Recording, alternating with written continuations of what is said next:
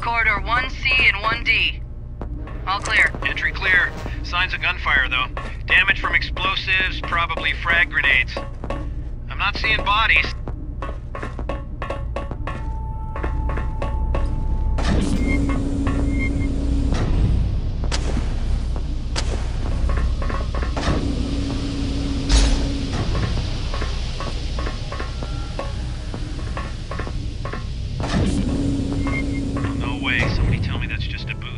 be a boot.